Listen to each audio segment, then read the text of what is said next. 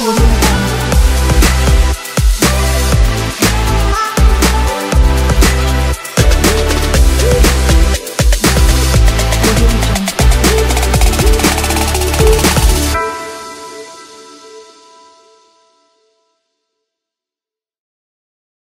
Assalamu alaikum wa alaikum warahmatullahi wabarakatuh. Welcome back with a new lecture with accredited laboratory. Today will be a very easy lecture, but on the same time will be very important for you if you are lab analyst or student. And also after that, inshallah, it will be a good reference for you when you will prepare standards or other solutions inside the lab. First, standard preparation how to prepare your standards inside the lab even if you have liquid or powder standards.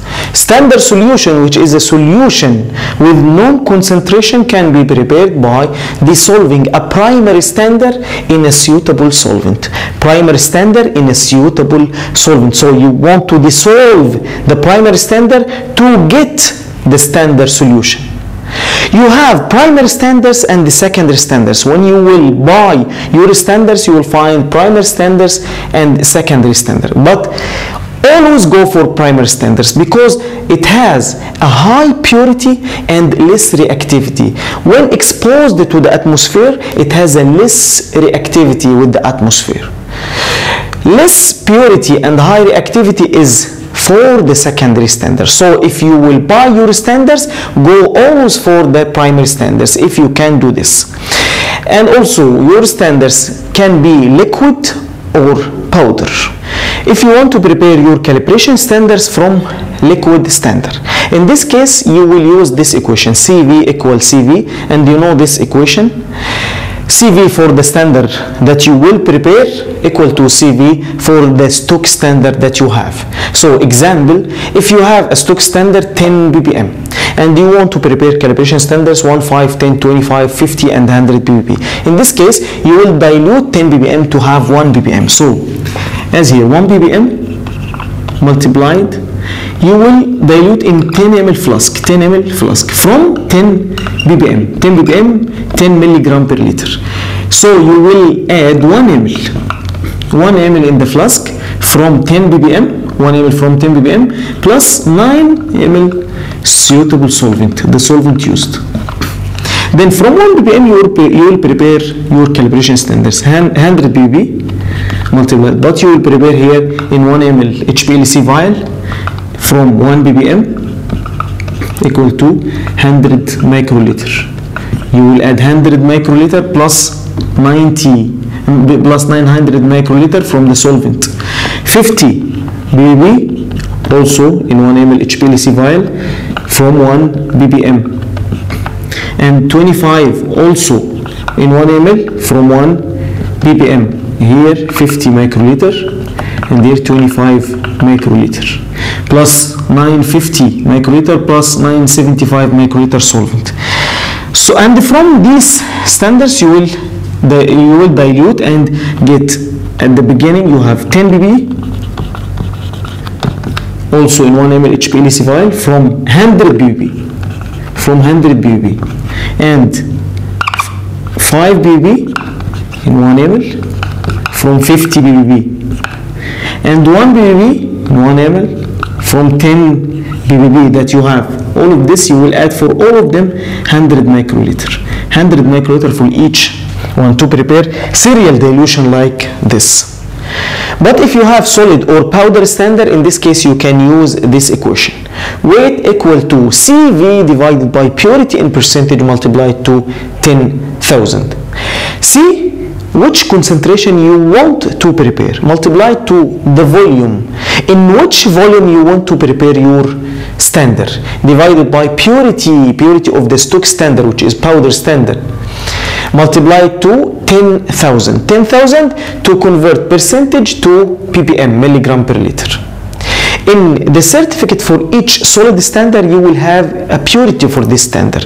99 percentage 98 percentage or whatever but you should calculate at the beginning the exact purity for the compound. Sometimes you will have compounds which contain water or mixed with hydrochloride HCl or mixed with uh, any other chemical.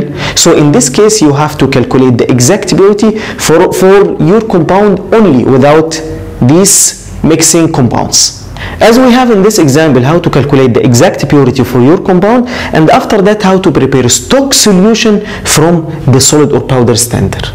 In this example we have tetracycline hydrochloride which is antibiotic molecular weight for this compound equal to 480.9 gram per mole and the purity as found in the certificate 98 percentage. At the beginning you will calculate the exact molecular weight for this compound in 98 percentage. Molecular weight equal to 480.9 molecular weight multiplied to 98 percentage divided by 100 equal to 471.282 gram per mole.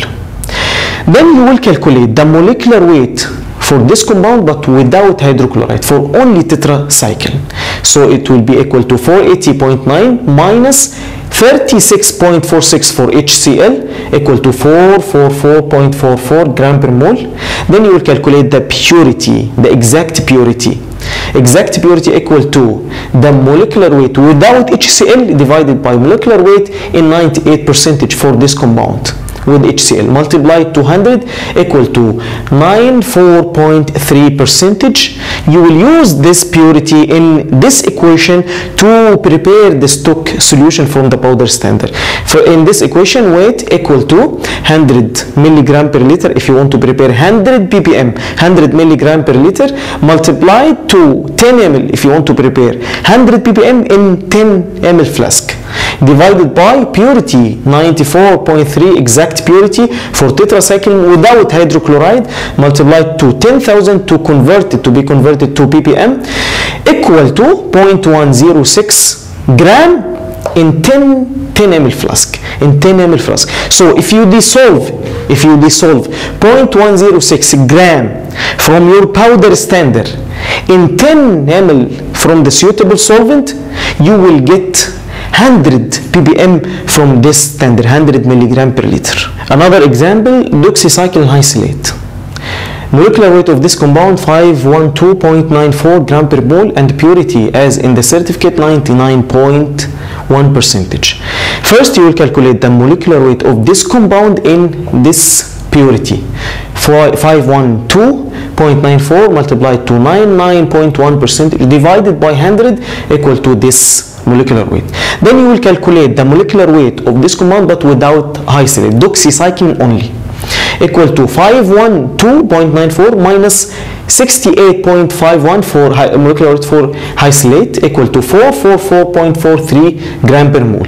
Then you will calculate the purity, the exact purity for doxycycline in this standard equal to 44 in this one molecular weight without hyclate divided by molecular weight in the in 99.1 percentage multiplied 200 equal to 87.43 percentage.